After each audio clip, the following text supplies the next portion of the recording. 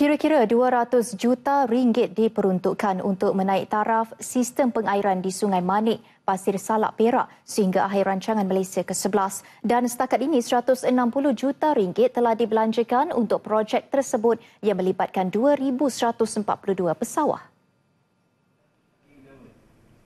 Menurut Timbalan Menteri Pertanian dan Industri Asas Tani, Datuk Seri Tajuddin Abdul Rahman, sejak projek itu dijalankan pada 2006, hasil padi telah meningkat daripada purata 3.5 tan metrik sehektar kepada 7 tan metrik. Projek ini dilaksanakan dalam tempoh yang agak panjang.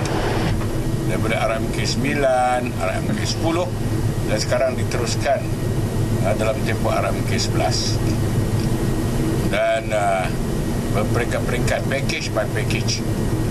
Beliau berkata demikian selepas menyertai program turun padang untuk melihat pembangunan skim pengairan Sungai Manik. Skim pengairan Sungai Manik berkeluasan 6,318 hektar melibatkan 2,716 hektar di Labu Kubung dan 3,602 di Sungai Manik.